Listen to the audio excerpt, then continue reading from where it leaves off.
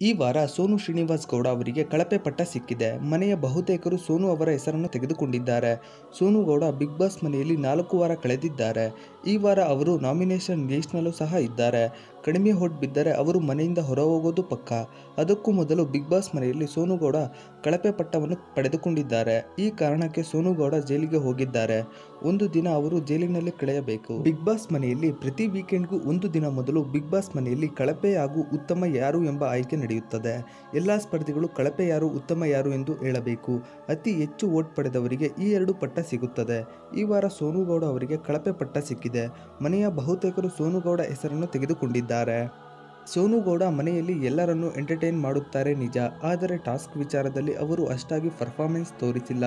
ಇನ್ನು ಮನೆಯ ಕೆಲಸ ವಿಚಾರದಲ್ಲಿ ತಪ್ಪಿಸಿಕೊಳ್ಳಲು ಪ್ರಯತ್ನಿಸುತ್ತಾರೆ. ಮನೆಯ ಕ್ಲೀನಿಂಗ್, ಪಾತ್ರೆ ತೊಳೆಯುವ ವಿಚಾರದಲ್ಲಿ ಸೋನು ಶ್ರೀನಿವಾಸ್ ಗೌಡ ಅವರು ಅಂತರವನ್ನು ಕಾಯ್ದುಕೊಂಡು ಬಂದಿದ್ದಾರೆ. ಸೋನುಗೆ ಅಡಿಗೆ ಮಾಡೋಕೆ ಬರುತ್ತೆ ಎಂಬ ವಿಚಾರ ಯಾರಿಗೂ ಗೊತ್ತಿರಲಿಲ್ಲ. ಅವರು ಅಡಿಗೆ ಮಾಡೋಕೆ ಬಂದ ಹೊರತಾಗಿಯೂ ಒಂದೇ ಒಂದು ದಿನವೂ ಕಿಚನ್ ಕಡೆ ಮುಖ ಮಾಡಿರಲಿಲ್ಲ. ಬಿಗ್ ಬಾಸ್ ಆದೇಶದ ಹಿನ್ನೆಲೆಯಲ್ಲಿ ಅವರು ಒಂದು ದಿನ ಅಡುಗೆ ಮಾಡಬೇಕಾಗಿ ಬಂದಿತ್ತು. ಈ ವೇಳೆ ಅವರಿಗೆ ಅಡುಗೆ ಬರುತ್ತದೆ ಎಂಬ ವಿಚಾರ ಗೊತ್ತಾಗಿತ್ತು. ಈ ಕಾರಣದಿಂದಲೂ ಮನೆ ಮಂದಿ ಅವರಿಗೆ ಕಳಪೆ ನೀಡಿದ್ದಾರೆ. ಕಳಪೆ ಪಟ್ಟ ಪಡೆದುಕೊಂಡ ವ್ಯಕ್ತಿ ಒಂದು ದಿನ ಜೈಲಿನಲ್ಲಿಯೇ ಕಳೆಯಬೇಕು. ಕೇವಲ ರಾಗಿ ಗಂಜಿ ಊಟ ಮಾಡಿಕೊಂಡು ಜೀವನವನ್ನು ನಡೆಸಬೇಕು. ಹೊರಗಿನ ಯಾವುದೇ ಸೌಲಭ್ಯವನ್ನು ಅವರು ಪಡೆದುಕೊಳ್ಳುವಂತಿಲ್ಲ.